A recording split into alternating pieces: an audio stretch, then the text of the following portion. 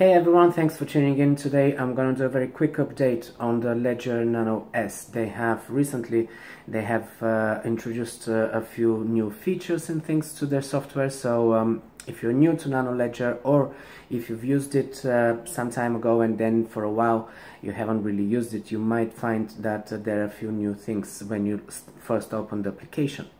So um, you have now choice between uh, Bitcoin, the regular Bitcoin blockchain, or Bitcoin Cash, which is the fork.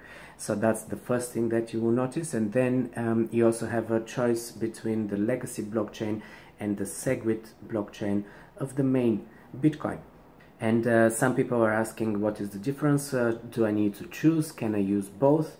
And um, the quick answer would be you can use both, but uh, it's better to use the SegWit blockchain because this is the one that that implemented SegWit, which is uh, the, that change of software that allows uh, for more transactions to be recorded on the same block and uh, therefore you, with more transactions on the same block we have less of a backlog of transactions therefore the, the fees to make a transaction are being kept low.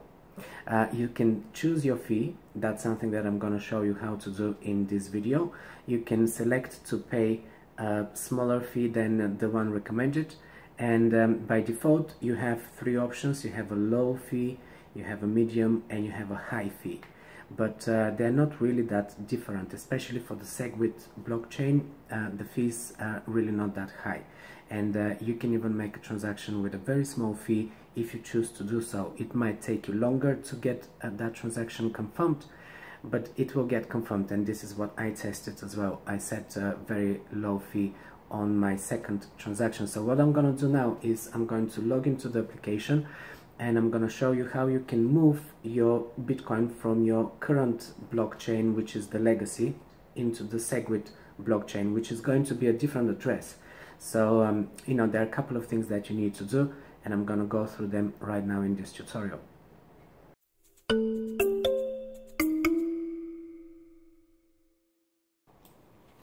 Okay, so let's open the Ledger Wallet application on my desktop. The first thing that I'm going to see when I open it is that I have a choice now. I can either go for Bitcoin or Bitcoin Cash. The two are separate blockchains. Bitcoin Cash is the hard fork that separated from Bitcoin from the main blockchain on the 1st of August. And um, now we have that choice. After I choose Bitcoin, which is what I'm going to be working with, I now have a choice of uh, legacy blockchain or SegWit blockchain. The two blockchains are, uh, for the moment, are still operating as uh, one and the same. With the SegWit blockchain, we can fit more transactions onto the same blocks. This is why we are expecting to see lower fees on the SegWit blockchain, and this is why it will be my choice. Um, I'm going to select SegWit and um, if you're not sure about this, by the way, you can go to the step-by-step -step tutorial on the, this page. This is the official Ledger Wallet website, and they explain to you here exactly what you need to do step by step. They're also mentioning here how uh, you, you should expect slightly less fees, smaller fees on the Segwit blockchain.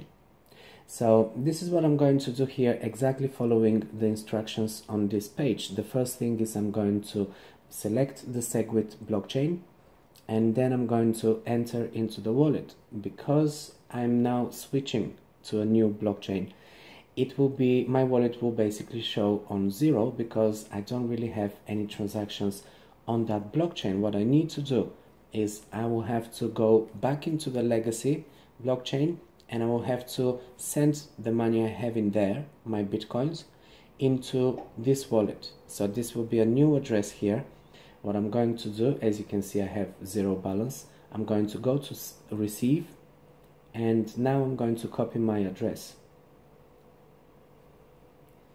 After I copy my address I'm going to go to settings and I'm going to go back to blockchains. So now I'm going to select Bitcoin again. This time I'm going to go for legacy because legacy is where my current amount of Bitcoin is being stored I want to transfer it from legacy into SegWit, so I will have to move it. and I'm not going to move it in one go because I'm a bit wary of making transactions of uh, large amounts in one go that's why I will be making my, the first one as a test I will do with 0.10 but you can see that uh, here I have quite a few transactions and uh, I'm not really showing exactly the amounts because this is private uh, information but uh, I have uh, my Bitcoin on the legacy currently and this is what you probably have as well. So what I'm going to do now is I'm going to send and here I need to paste the address from my Segwit blockchain that I just copied then I'm going to select the amount and in this case I'm going to go for 0.10 just to start with you know something that is not uh, too high. And uh, and of course um, after that I will probably make a bigger transaction. I will make two or three transactions even though I'm paying fees every time. Um, the good thing is that I can actually customize the fees so now I'm, I'm choosing the slow confirmation which is the low fee because I'm making a very small transaction. I don't really want to pay too much. Uh, the next transaction will be slightly bigger amount. So in that case I'm actually going to choose the fee that I'm going to pay and I'm going to set it to something small. So now that I've sent this transaction I need to go back to blockchains and this time I need to select the Segwit blockchain where I should be able to see my transaction probably still pending. Let's find out.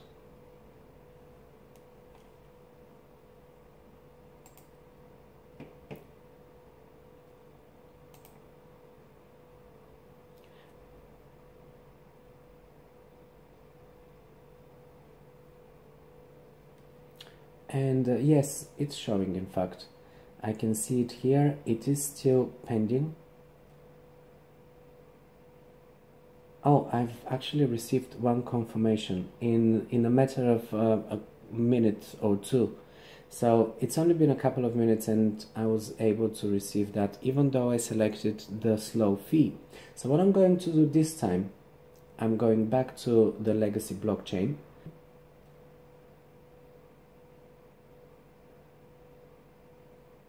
I can see my transaction. It's showing that it's confirmed. And uh, now I'm going to make another one. I'm going to send this time slightly bigger amount. I'm pasting again the same address. Okay so I'm going to send half a Bitcoin this time and I'm going to custom fees. And here I can choose how many satoshis per byte I want to pay for this transaction. 30 cents for this transaction I'm going to pay. It's probably going to take a little bit longer, but uh, currently we're seeing uh, not a very big um, queue for transactions on the blockchain and uh, they're getting approved quite quite easily so I'm basically testing and let's see is, is that gonna go through let's go back to blockchains select Bitcoin Segwit and uh, the transaction is showing up as unconfirmed. It's probably going to take a little bit of time this for this one. As I said I did set it to a very low fee and uh, I'm pretty sure that it will be approved but I, I can't tell how long it's going to take. It could be a few hours